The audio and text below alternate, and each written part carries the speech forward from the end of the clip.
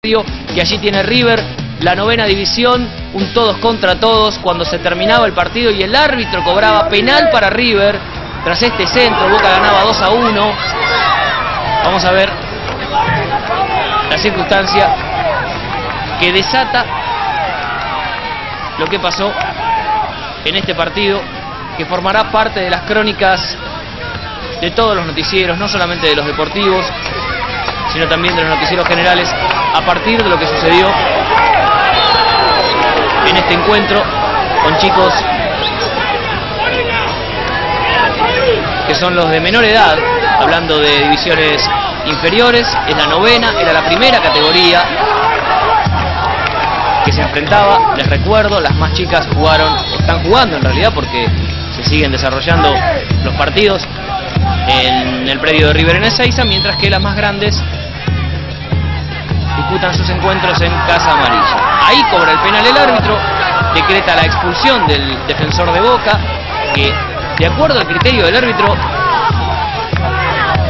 cometió la falta. La verdad me parece triste, me parece chiquito que nos pongamos a discutir sobre si fue penal, si no fue penal. Probablemente vamos a suponer que no fue penal. Eso significa que estén justificadas este tipo de actitudes, las agresiones y lo que vas a ver ahora. ¿eh? Presta atención porque esto ingresa dentro de lo más lamentable y vergonzoso que hemos visto, por lo menos en los últimos meses en el fútbol argentino. Chicos que deberían estar preparados para jugar, para respetarse, para tratar de ganar. Los empujones y de los empujones a las trompadas y a las piñas.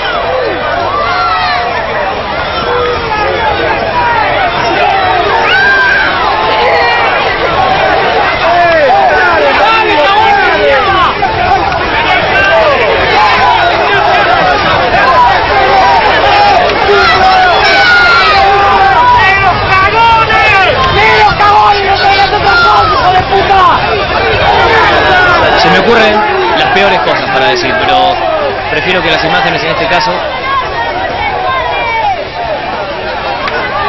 sean lo básico, lo elemental.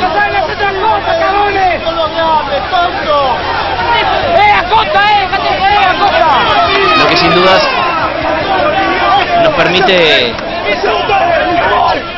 augurar un futuro negro para estos pibes si no cambian de actitud, ¿no? si no se dan cuenta que este no es el camino. Muchos de estos chicos con enormes condiciones están asignados a formar parte de lo más trascendente del fútbol argentino dentro de muy pocos años, ¿eh? tienen 14 años, 15 años. Sí, 14, 15 años.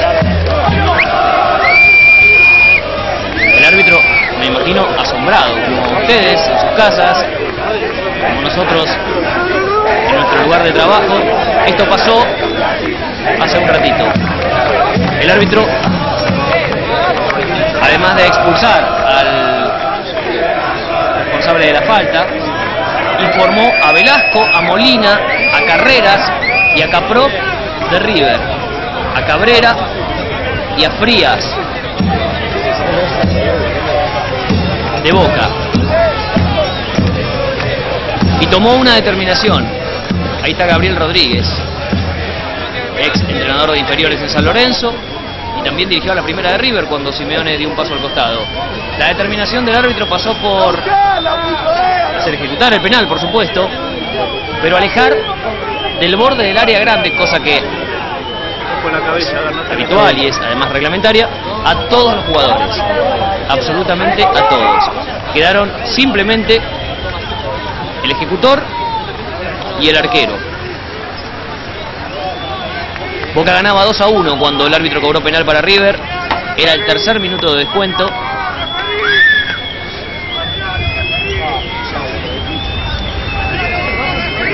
Y en medio de los gritos, de las secuelas que además había dejado la batalla campal, River logró el empate y el partido terminó 2 a 2. Las imágenes de nuestro compañero Sebastián Actis que nos permiten